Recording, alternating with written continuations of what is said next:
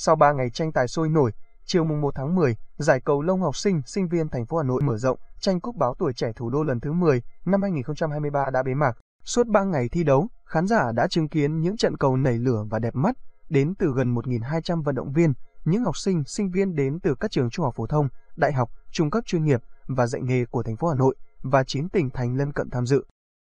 Em thấy giải đấu năm nay tổ chức rất là quy mô và hoành tráng ạ. Ờ, và rất nhiều sự góp mặt của tất cả các bạn học sinh và sinh viên đến tham dự.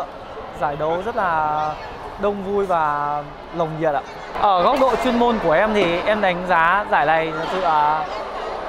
không chỉ riêng em mà tất cả các vận động viên tham gia đều đánh ờ, rất là cố gắng và hết mình ạ. Dù thắng hay thua thì kết quả dù ra sao thì nhưng mà tất cả các vận động viên đều đã cố gắng hết sức ạ trong từng trận đấu ạ.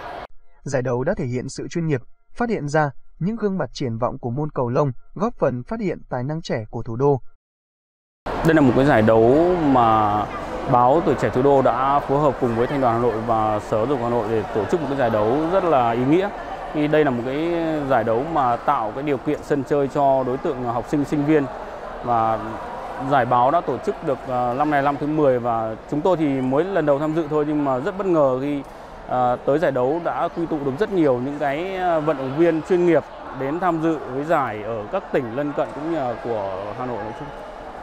Cũng tại giải đấu này, nhiều cổ động viên, vận động viên đã bốc thăm trúng thưởng trong không khí vui tươi, phấn khởi của cả vận động viên và người hâm mộ.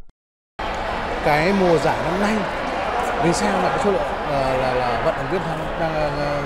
các trường cao đẳng đại học trung học chuyên, chuyên nghiệp trên địa bàn thành phố và các 9 tỉnh tham gia bởi lẽ là cái thương hiệu uh, giải cầu lông của báo tuổi trẻ thủ đô đã rất là uy tín trong các mùa giải trước. Và cái sự công tâm của ban tổ chức cái sự ờ, khách quan của trọng tài chính vì vậy mà các bạn các tỉnh đăng ký tham gia rất đông. Cái thứ hai nữa là theo ban tổ chức chúng tôi xác định bắt đầu năm 2011 chúng tôi sẽ triển khai để với một số vận động viên của quốc tế tham dự cái giải. Và chúng tôi đã được sự đồng ý của các đồng chí thường trực thành đoàn và cái mùa giải của chúng tôi năm sau sẽ được chúng tôi dự kiến là triển khai tại khu vực miền Trung và khu vực miền Nam cái ba khu vực ờ, rộng lớn là của trọng tâm của đất nước để lan tỏa cái tinh thần đối với cầu lông những học sinh sinh viên của ba khu vực không riêng chỉ ở địa bàn Hà Nội mà chúng tôi sẽ xây dựng kế hoạch để triển khai trong cái mùa tới tại cả Bắc Trung Nam ba vùng. Khép lại giải cầu lông học sinh sinh viên thành phố Hà Nội mở rộng tranh cúp báo tuổi trẻ thủ đô lần thứ 10 năm 2023 trong tinh thần nhiệt huyết, cao thượng, trung thực và đoàn kết.